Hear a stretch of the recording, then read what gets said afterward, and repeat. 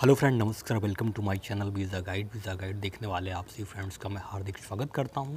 Channel शुरू करने से पहले आप सभी लोगों से रिक्वेस्ट है कि फ़र्स्ट टाइम जो व्यूअर चैनल को देख रहे हैं, उनसे मैं रिक्वेस्ट करना चाहता हूँ। अगर आपने अभी तक लाल कलर के सब्सक्राइब बटन पर क्लिक करके सब्सक्राइब नहीं किया है तो सब्सक्राइब कर लीजिए। इस चैनल पर मैं जॉब इमिग्रेशन वीज़ा के बारे में लेटेस्ट वीडियो बना के डालता रहता हूँ, जो काफ़ी इन्फॉर्मेशन फुल होता है। सब्सक्राइब बिल्कुल फ्री है, फटाफट आप सब्सक्राइब कर लीजिए।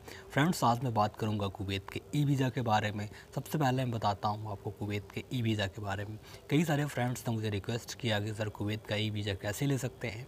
उसका क्या प्रोसेस है? कितना टाइम लगेगा? तो आज इस वीडियो में आपको सब कुछ गाइड करूँगा कैसे आप कुवैत का ई वीज़ा ले सकते हो। कुवैत का ई वीज़ा जो है, बहुत ही आसान है, बहुत ही सिंपल है। इसको आप बहुत ही आसानी के साथ में ले सकते हो। लेकिन कुवैत का ई वीज़ा पाने के लिए कुछ टर्म्स एंड कंडीशन है, उसको आपको फॉलो करना पड़ेगा। तो कुवैत के ई वीज़ा पाने के लिए क्या टर्म्स एंड कंडीशन है, वो मैं आपको बताता हूँ। आप नोटिस करिए और ध्यान से देखिए। सबसे पहले तो आपके पास रेसिडेंस परमिट होना चाहिए। रेसिडेंस परमिट कहाँ का? अगर आप गल्फ़ में कहीं काम करते हो, किसी भी कंट्री में, वहाँ का आपके पास रेसिडेंसी रेसिडेंस परमिट है रेसिडेंस कार्ड है। सपोज़ दैट आप Saudi Arab Kuwait suppose that Saudi Arab Oman Qatar Bahrain में आप कहीं काम कर रही में आप काम कर रहे हो, आपके पास रेसिडेंस परमिट है तो आप कुवैत का ई वीज़ा अप्लीकेशन कर सकते हो। कुवैत का जो ई वीज़ा है, वो बहुत ही सिंपल है, बहुत ही आसान है और ये आप घर बैठे आप ऑनलाइन एप्लीकेशन कर सकते हो और वाया ईमेल ये जो कुवैत का ई वीज़ा है ये आपके ईमेल पे तीन दिन के बाद तीन दिन इसका प्रोसेस टाइम लगता है जहाँ आपका तीन दिन हो गया। तीसरे वर्किंग डे के बाद आपके आपके रजिस्टर्ड ईमेल पे आपका जो ईमेल होगा जो आप ईमेल सबमिशन करोगे अपनी ऑनलाइन एप्लीकेशन में उस पर वाया ईमेल आ जाएगा।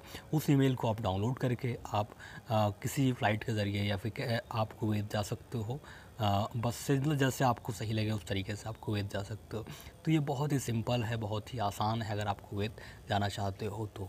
बाकी कुवैत का टूरिस्ट वीज़ा कैसे लेना है, उसके बारे में मैं नेक्स्ट वीडियो में आपको बताऊँगा।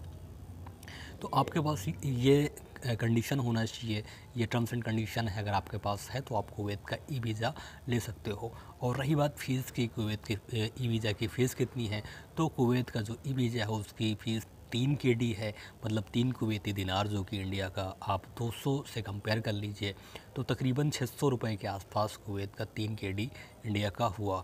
तो छः सौ रुपये आपका जो वीज़ा अप्लीकेशन फ़ीस है, वो आपका पड़ेगा। और ई वीज़ा में सबसे ख़ास बात यह रहता है कि आपको किसी एम्बेसी में जाने की कोई ज़रूरत नहीं है।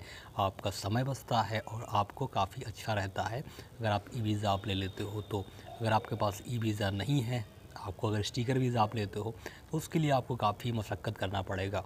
आप एम्बेसी जाओगे, आपके पास कई सारे सपोर्टिव फ़ाइल लगेंगे, वो सब लगा के आप ई, आप स्टिकर वीज़ा लोगे।